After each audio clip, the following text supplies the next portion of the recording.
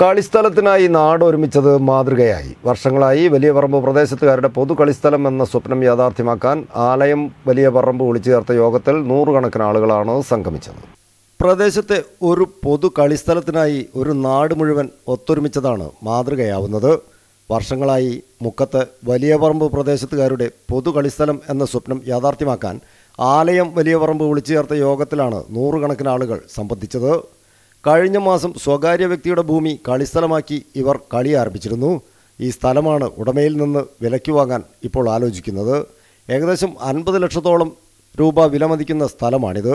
M P M L A ജില്ലാ block ഗ്രാമപഞ്ചായത്ത് പ്രതിനിധികൾ എന്നിവരെ സമീപിച്ച് പകുതി വില ഈ നിലയിലും പകുതി നാട്ടുകാരുടെ സഹായത്തോടെയും സ്വരൂപിക്കാനാണ് യോഗത്തിൽ തീരുമാനമായത്. ജി അബ്ദുള്ള അക്ബർ ചെയർമാനായ നൂറ്റിയൊന്നംഗ സമിതിയാണ് ഇതിന് നേതൃത്വം നൽകുന്നത്. കാരശ്ശേരി ഗ്രാമപഞ്ചായത്ത് വൈസ് പ്രസിഡന്റ് ജംഷിദ് ഒളകര യോഗം ഉദ്ഘാടനം ചെയ്തു.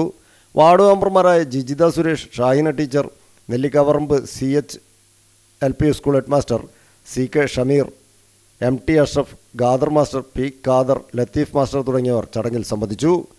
Unnimoyinkutty Thondayil Shameer P P Raheem Vallangal Rasheed Kunnath Basheer Haji M P Sathar E Latheef M Sakkeer Parakkal T K Velayudhan Muhammad Kuyil Ameen Adukkathil Manoj Siddique O തുടങ്ങിയവർ നേതൃത്വം നൽകി.